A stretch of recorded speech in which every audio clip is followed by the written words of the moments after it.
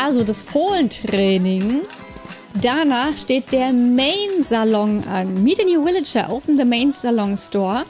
Cut your horses hair in new styles. Da werden wir dann wohl die Möglichkeit haben, ähm, unseren Pferden äh, Mähnenfrisuren zu verpassen.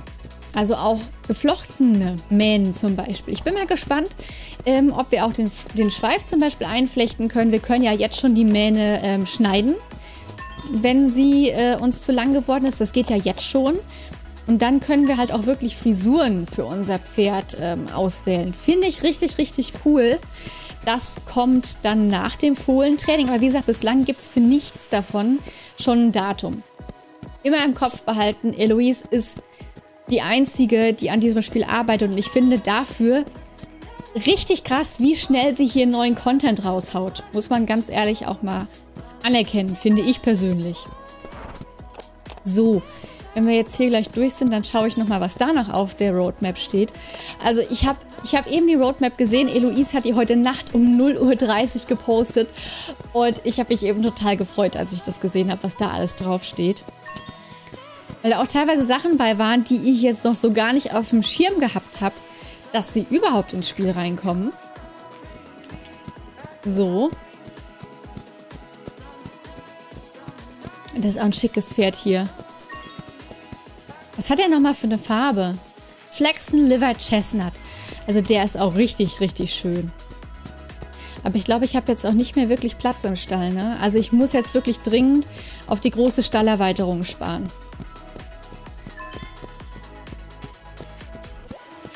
Die Weide jetzt auszubauen macht gerade nicht wirklich Sinn. Ich brauche jetzt wirklich erstmal den größeren Stall. Und das waren, glaube ich, 250.000. Das heißt, da fehlt mir doch noch einiges für. Ich muss mal schauen. Ich, ich müsste eigentlich noch ein paar mehr Pferde auch verkaufen. Der Pferdeverkauf bringt schon wirklich viel. Wobei auch die Turniere nicht schlecht sind, um Geld zu verdienen. Wie lange warst du im Urlaub? Ich war drei Wochen in Namibia. Die Hälfte hast du ja schon, um es positiv zu sehen. Ja, ne? Man muss sich ja auch irgendwie motivieren. So, go to entrance. Was kommt denn nach dem Mädensalon? Azur Coast. Genau, ein neues äh, Küsten, ein, ein neues Gebiet. Und da werden wir dann, falsch rum, da werden wir dann Rabicanus ähm, als Wildpferd fangen können. Dann haben wir nochmal eine neue Farbe, die ins Spiel reinkommt. Danach kommt die Fashion Boutique, dass wir für unseren Charakter neue Klamotten kaufen können und auch die Frisur anpassen können. Ähm, Freue ich mich persönlich auch sehr drauf. Das hätte ich mir vielleicht sogar noch ein bisschen früher gewünscht. Aber die Mehrheit hat entschieden. Eloise hat nämlich da so eine Abstimmung gemacht, um so ein bisschen zu sortieren, ähm, was der Community am wichtigsten ist, ähm, was sie zuerst machen soll. So, und was kommt danach? Die Veterinary Clinic. Dann haben wir nämlich einen Tierarzt und ähm, dann können unsere Pferde auch krank werden. Das wäre dann der nächste Punkt. Haben wir nicht eigentlich gerade, haben wir noch einen Fohlen oder haben wir eine trächtige Stute? Ich glaube, wir haben eine trächtige Stute, oder? Kann das sein? So, jetzt muss ich mal schauen, mit welchem Pferd wir mal noch ein paar Turniere reiten. Ich weiß gerade gar nicht mehr, welches mein bestes ist. Huh. Home Sweet Home kommt danach. Upgrade your house und adopt various pets. Ist es nicht cool? Ich habe überhaupt nicht damit gerechnet, dass wir Haustiere haben können. Wie gesagt, keine Ahnung, wann das reinkommt. Ja, da hinten. Sie ist tragend. Stopp. Stopp, Picasso. Er ist, genau, er ist momentan unser Bester. Also ich hatte echt nicht mit, den, mit, mit Haustieren gerechnet. Freut mich mega. Also finde ich richtig, richtig toll. Ich bin gespannt, was wir adoptieren können. Ich gehe mal davon aus, ganz stark, dass man so die Klassiker äh, wie Hunde und Katzen bestimmt adoptieren kann. Ähm, gucken wir mal, was dabei noch alles rumkommt. Und... Ah, wir haben gerade eine Werbeunterbrechung. Dann äh, reite ich jetzt gleich erstmal das Turnier. Place first in the Pine Forest Expert Race. Okay. Ach nee, ich muss hier absteigen. Da hat sich aber wer echt was vorgenommen an Content. Ja, ne? Ich, also ich finde es richtig heftig. Äh, Pine Forest Expert. Oh mein Gott. Gucken wir mal. So, die äh, Werbeunterbrechung ist durch. Und zum Schluss Village Life. Participate in seasonal events und build friendships with the villagers. Und da ist ganz unten ein Weihnachtsbäumchen. Habt ihr, glaube ich, gerade nur verschwommen gesehen. Und da freue ich mich auch mega drüber. Weil ich liebe persönlich so Events, die einfach so, ja, die Jahreszeit so ein bisschen besonders machen. Und nicht jede, wo nicht einfach jede Jahreszeit vor sich hin dümpelt ohne besondere Vorkommnisse. Das finde ich richtig, nein, das finde ich richtig, richtig cool, wenn sowas reinkommt. Und da freue ich mich also auch wirklich richtig, richtig krass drauf. Vor Dingen, wenn man alles alleine macht. Ja, ne? Aber wisst ihr was? Das Schöne ist, Eloise, die macht so viele tolle Sachen, dass ich hier halt auch wirklich sage, die packt das. Die kriegt das auch alles hin, was sie sich vornimmt. Und was ich auch sehr schätze an der Community von Range of River Shine, ähm, die Community, habe ich das Gefühl, ist sehr, sehr supportive im Vergleich zu anderen Communities teilweise. Also ich habe bislang noch nie irgendwie böses Blut gelesen. Ich habe immer nur gelesen, dass sich die Leute mega darüber freuen, was angekündigt ist und halt auch wirklich pro, äh, äh, positive Kommentare und Lob aussprechen ähm, über das, was schon drin ist und wie sie das macht. Und ähm, das finde ich mega, dass die Leute nicht. Also es ist. Es kommt nicht so vor, wie es in anderen Spielen ist, dass die Leute schreiben, boah, ey, jetzt mach doch mal hinne und warum denn dies und warum denn das. Ja, ich weiß, ich bin selber auch manchmal jemand von den Maulbacken, was, was Star Stable angeht. Aber da liegt es auch einfach darauf, äh, daran, dass ähm, sie gezeigt haben, dass sie es eigentlich auch anders können. Und dass man dann natürlich, dann ist man einen anderen Standard gewöhnt und dann verlangt man auch mehr. Und das, wie gesagt, das finde ich aber sehr, sehr schön bei Range of Rivershine. Yay, wir haben es geschafft, erster Platz. Wuhu. Dass es hier wirklich so eine positive Stimmung ist. Finde ich toll. Freut mich. Freut mich wirklich. Okay, Competition Reward.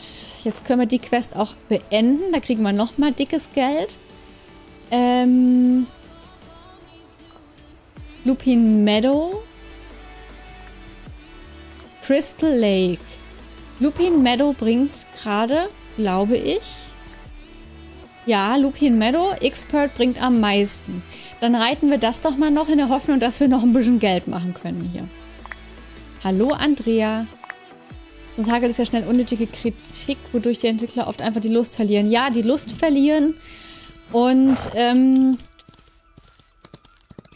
Also ich, viele, viele versprechen unheimlich viel bei Pferdespielen, nehmen sich unheimlich viel vor und packen es dann nicht und dann kommt halt die Kritik oder teilweise dann Hate der Community und dann ja, schlafen halt auch irgendwie die Projekte so ein bisschen ein. Und ähm, das ist halt das Problem. Und das ist bei vielen Pferdespielern in letzter Zeit so, dass von vornherein unfassbar viel versprochen wurde. Ähm und ja, dann aber irgendwie alles eingeschlafen ist oder extrem unfertige Versionen vom Spiel rausgekommen sind. Ich finde eigentlich die Art und Weise, wie Eloise das gemacht hat, finde ich besser. Sie hat in relativ großen Abständen die Dev äh, die, die, die Dev-Blogs gebracht, wo sie so ein bisschen erzählt hat, was momentan der Stand der Dinge ist. Ähm, aber sie hat sich ansonsten während der Entwicklung relativ bedeckt gehalten und hat einfach vor sich hin programmiert. Und dann kam einfach total überraschend und plötzlich die Demo und du hast dir so gedacht, wow, okay, das Spiel ist eigentlich schon ziemlich fertig und es funktioniert verdammt gut. Und das ist eigentlich, ich glaube, das ist die bessere Variante. Sie hat, ich glaube, es, es gab keinen Kickstarter oder Patreon für Range of Rivershine. Ich meine nicht. Ich meine, das hat sie alles selber irgendwie hinbekommen, ohne finanzielle Unterstützung. Und das ist natürlich auch was. Wenn man Spiele finanziell unterstützt, dann erwartet man sich natürlich auch schon ein bisschen mehr, wenn man dafür zahlt im Vorfeld. Das hat sie nicht gemacht. Und wie gesagt, die erste Version war einfach schon ziemlich weit. Und das ist, das ist, also ich glaube, das ist so das Erfolgsrezept, wie es eigentlich viel mehr Spiele machen sollten.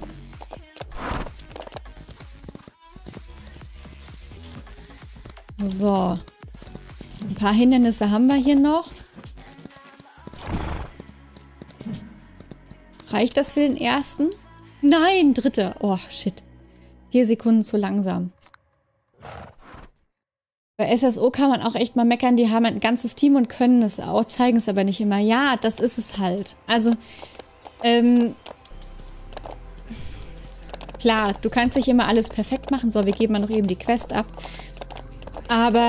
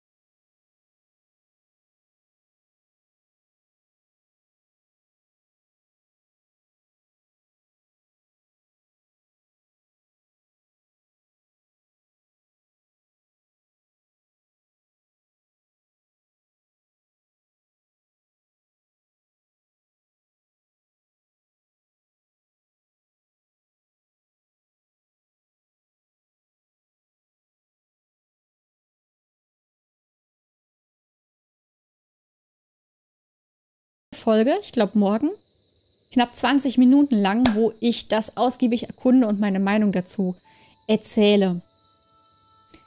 Es gab jetzt ein komplett neues Gebiet, beziehungsweise überarbeitetes. Äh... Ja, ja, ja, also Hollywoods, ähm, klar. Aber es ist halt die Frage, ich bin mal gespannt, jetzt kommen ja noch einige Sachen, ich bin mal gespannt, wie viel Neues es da an Content gibt. So, das wäre auch bei Riding Out so leider nie fertig. Ja, das war auch da das Problem, das stimmt. So, it's always delightful to watch you compete. Es ist immer schön, dir beim Wett bei, bei den Turnieren zuzuschauen. The Dark Grove was especially fun, despite all the trees blocking the view. Äh, Dark Grove war, ja, hat echt Spaß gemacht, ähm, bis auf die Bäume, die leider einen, den Blick etwas versperrt haben.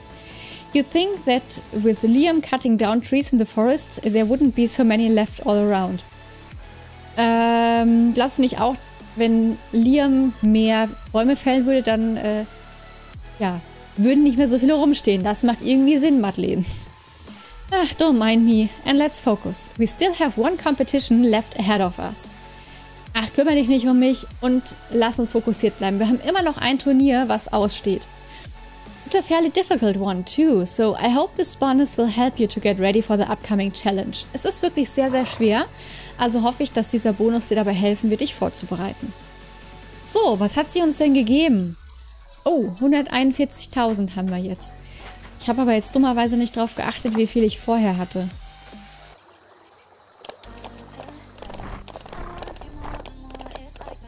Ah, ich weiß nicht, wie es euch geht, aber ich finde die Grafik der Umgebung in SSO passt gar nicht zu den Pferden. Die sehen echt richtig gut aus und dann kommt die Gegend, die aussieht wie Handygrafik. Ja, also das ist tatsächlich, also sie haben Es ist nicht ganz stimmig. Bei manchen Pferden ja, die, die so ein bisschen Comic-mäßiger aussehen, sage ich jetzt mal. Was weiß ich, die Haflinger zum Beispiel. Das KWPN, das dann aber so super realistisch aussieht, oder ein Paso Fino, ähm, die sind halt schon wieder fast ein bisschen zu realistisch. Habt ihr den Teaser gesehen? für die Ardenner, die im Januar kommen sollen, den SSO heute auf Instagram gepostet hat. Also da bin ich super gespannt drauf.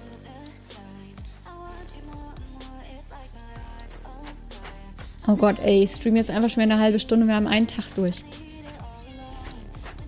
Schon wieder die nächste Rasse geplant. Nee, nicht gesehen. Ja, tatsächlich, ja. Die bringen ja mittlerweile wirklich im Vier-Wochen-Takt nicht nur neue Farben, sondern auch neue Pferde raus. Ähm... Moment, ich such's mal gerade raus. Ähm... Oh Gott. Ich vertippe mich die ganze Zeit. Hier. Sieht, finde ich, mega goldig aus. Bin ich schon sehr gespannt drauf. Nee, einen Trailer gibt's dazu. Gibt's dazu noch nicht. Also soweit ich weiß nicht. Ähm, ein Bild haben sie gepostet und sie haben dazu geschrieben, dass sie in den nächsten Wochen noch mehr Infos dazu posten.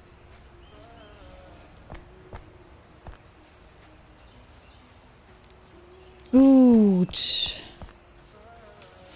Liegt zweimal Stroh direkt nebeneinander. Ähm, unsere Wildpferde muss ich jetzt wieder trainieren. Ja, guten Morgen, ihr zwei. Die wiehern mich hier wieder an. Es ist halt momentan, mache ich hier halt wieder sehr, sehr viel das Gleiche, solange bis die beiden austrainiert sind. Habe ich eigentlich gerade noch Platz im Stall? Ich glaube nicht glaube, wenn wir jetzt nochmal neue Wildpferde finden, dann brauche ich gar nicht erst dahin, weil das macht keinen Sinn. Ich eh keine mehr aufnehmen kann.